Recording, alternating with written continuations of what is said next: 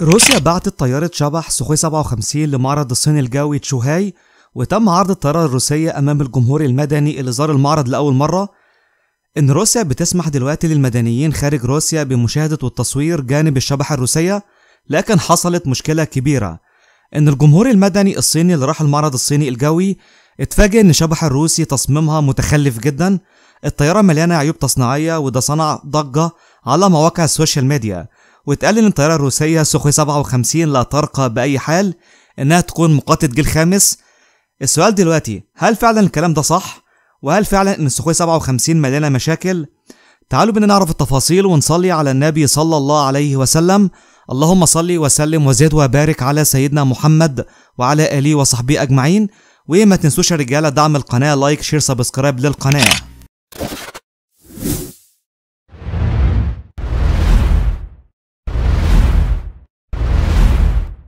روسيا بعتت طائرة شبح سوخوي 57 لمعرض شوهاي الصيني الجوي في أول زيارة خارجية.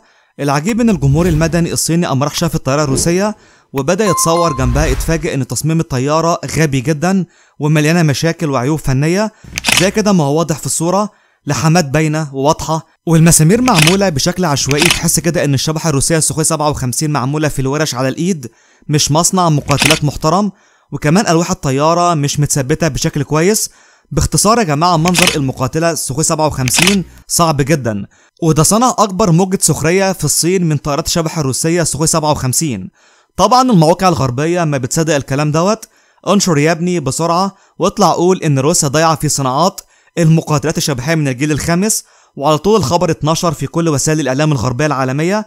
واتعمل أكبر موجة تشويه للصناعات الجوية الروسية. وتشويه لبرنامج روسيا في صناعات مقاتلات الجيل الخامس. روسيا ردت على حملة التشويه ديت وقالت إن النموذج اللي راح معرض الصين الجوي بيعد نموذج أولي وكان من أوائل المقاتلات أو أوائل النماذج اللي عملتها روسيا في إطار خطط تطوير المقاتلة الشبحية سوخوي 57 بالتالي النموذج اللي راح الصين مش هي نفس الطيارة اللي بتنتجها روسيا دلوقتي في أحدث طراز منها سوخوي 57 إم. وعشان كده طبيعي إن النموذج الأول من سوخوي 57 يظهر فيها عيوب تصنيعية بسبب إن المصنع الروسي كان عارف كويس قوي إن النماذج الأولية ما بتكونش طائرات مستدامة بتتعمل بس لأغراض التدريب الاختبار يعني يا دوب تطلع في الجو وتنزل تاني. وهنا المصنع الروسي ما بيهتمش بتصميم النماذج الأولية بشكل محترف بسبب رغبة روسيا في عدم استنفاد أموال كتير في برامج المقاتلات وعدم الحاجة لإنتاج نماذج أولية بشكل احترافي عشان توفير الميزانية. وده كلام منطقي جدا. النموذج الأول مجرد طيارة اختبارية بيتم فيها اختبار المعدات اختبار المحرك اختبار الطلاء الشبحي ومكونات المقاتلات. فمش مهم قوي إنك تعمل بدن طيارة زي ما بيقول الكتاب بالضبط وده في إطار حرص روسيا على عدم استنفاد أو استهلاك أموال ميزانية كاملة خاصة بالبرنامج في صناعة نماذج أولية ملهاش لازمة بعد كده. وده يا جماعة إجابة السؤال الأول إن روسيا أصلا متعمدة إنها تبعت نموذج أولي لمقاتلة شبح سوخي 57 لمعرض الصين الجوي بالتالي انتقاد زوار المعرض الصيني لشكل المقاتلة سوخي 57 الروسية مش مؤثر على سمعة السلاح الجوي الروسي أو الصناعات الجوية الروسية. نخش دلوقتي على السؤال التاني ليه أصلا روسيا تبعت النموذج الأولي لسوخي 57 ليه روسيا ما بعتتش للصين أحدث طراز من الشبح الروسية من نوع سوخوي 57 ام اللي بيتم انتاجها في روسيا دلوقتي. عندنا يا رجال أكتر من سبب. السبب الأول ان شبح الروسي هيروح الصين في معرض الصين الجوي والطيارة راحت بشكل مفكك عن طريق طريقة نقل عسكري روسية من طراز أنتينوف 124 وتم إعادة تجميع الشبح الروسيه مرة تانية داخل المصانع الصينية. فمش منطقي إن روسيا تبعت أحدث طيارة عندها. أو أحدث نسخة عندها من سوخوي 57 وتدخلها للمصانع الصينية عشان بعد كده الخبراء الصينيين يعرفوا أسرار الشبح الروسية وأسرار الأجزاء الحساسة داخل الطيارة. وطبعا إحنا عارفين إن الصينيين في الحاجات ديت ما بيتوصوش. على طول بيقوموا باستنساخ المقاتلات الروسية والتكنولوجيا الروسية. وده بيعرض الصناعات الجويه الروسية لخسائر فادحة. يعني دلوقتي الصين أما تستنسخ المقاتلات الروسية شبح بدل ما العميل الأجنبي هيروح يشتري دلوقتي مقاتلة روسية شبحية ويكسب روسيا لا ساعتها هيروح يشتري مقاتلة صينية أرخص واللي هي في الأصل مبنية على التكنولوجيا الروسيه وهنا روسيا بتخسر صفقات أسلحة كتير بسبب الصين وسبب عمايل الصين في في الاستنساخ والتقليد. بالتالي روسيا كانت خايفة من تسريب أسرار أحدث نسخة من الشبح الروسية سوخوي 57 إم عن طريق المهندسين الصينيين وهنا اختارت روسيا أقدم طيارة عندها من سخوي 57 نموذج أولي متخلف اختباري تدريبي وشحنته على الصين. يلا عايزين تستنسخوا وتقلدوا قلدوا بقى المقاتلة القديمة أو النموذج القديم بتاعنا المعمول على الإيد.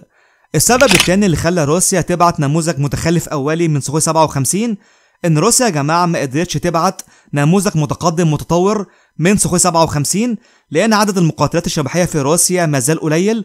وكل الطيارات الروسية الحديثة من أنواع سخوي 57 إم موجود دلوقتي على خط المواجهة في أوكرانيا وبتشارك في عمليات حرب أوكرانيا. وبتقدم الشبحة الروسية مهام التغطية الدفاعية والإلكترونية لأسراب سلاح الجو الروسي وبتقوم بتدمير شبكات دفاعات قوات الناتو وكمان موجودة دلوقتي عشان تقوم باصطياد أي مقاتلة أمريكية تظهر على شاشات الرادار من أنواع اف 16 ممكن تكون شايلة وسائل حرب أمريكية محظورة. إحنا عارفين إن زيلينسكي كان بيجهز من فترة لتنفيذ هجمات بعيدة المدى على روسيا واستعمال أسلحة غير تقليدية وقنابل قذرة. زي كده ما قلت امبارح في فيديو انتصار ترامب في المعركة الانتخابية.